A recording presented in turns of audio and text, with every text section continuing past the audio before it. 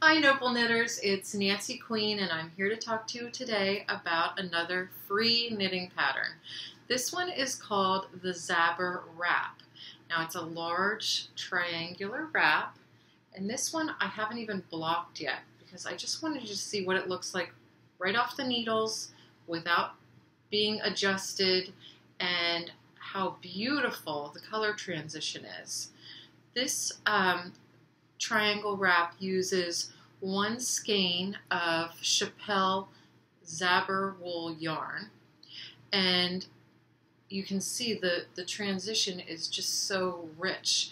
It's, it's made just like our um, Zauber shawl, but using one of the, a different Zauber yarn.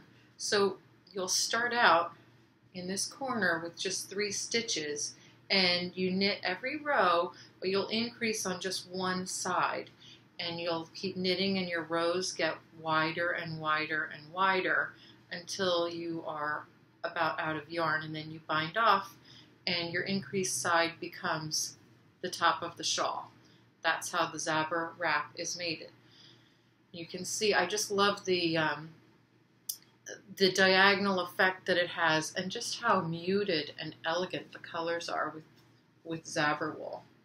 You can see it's, it's kind of a combination of colors introduced to create that. They're using several strands to create that effect. I think it's beautiful. And I just want you to see, now let me get my, my glasses on here so I can tell you a little bit of detail about this wrap.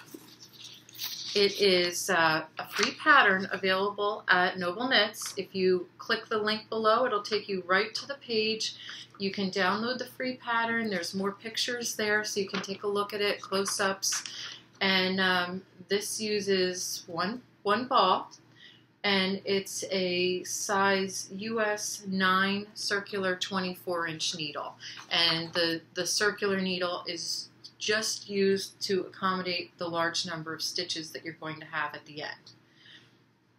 Uh, the completed measurements of this one before I blocked it um, is 19 inches high by 48 inches across. And like I said, I didn't block this one because I wanted you to see exactly what it was like without being blocked. And that's it. The repeat is, there's not much to it. This is the whole pattern. So go get your free knitting pattern, sit back, relax, and uh, make something for yourself. Please like, comment, and subscribe below. Thanks.